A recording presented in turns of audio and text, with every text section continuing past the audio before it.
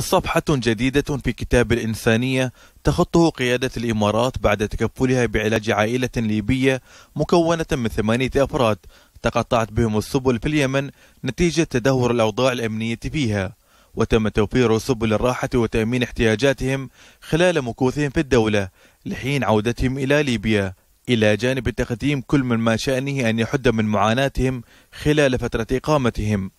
مصدر دبلوماسي بالسفارة الليبية. أعرب عن شكره وتقديره للقيادة الرشيدة بدولة الإمارات وقال إن الشعب الليبي لن ينسى هذه المواقف المشرفة للإمارات.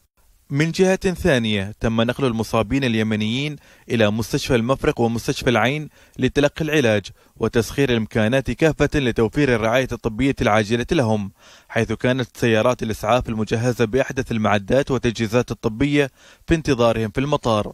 وقال مصدر مسؤول أن وصول المصابين اليمنيين لتلقي العلاج في مستشفيات الدولة يأتي في إطار المبادرة الإنسانية لصاحب السمو رئيس الدولة حفظه الله وما يربط الشعبين الإماراتي واليمني الشقيقين من علاقات وثيقة. وأوضح المصدر أن هذه الدفعة الأولى من استقبال المصابين والجرحى ومن تقطعت بهم السبل في اليمن. ستليها دفعات قادمة لتعزيز مجالات الاستجابة الإنسانية لصالح المتأثرين من الأحداث في اليمن.